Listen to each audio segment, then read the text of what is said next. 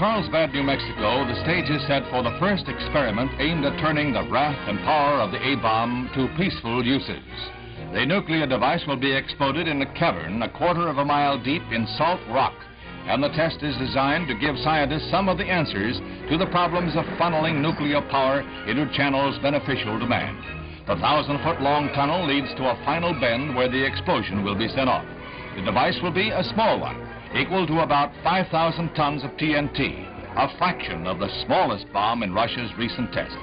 Project Gnome is the first step in Project Plowshare, which scientists hope will lead to the ultimate use of nuclear materials for trapping underground heat to turn turbines that will generate electricity.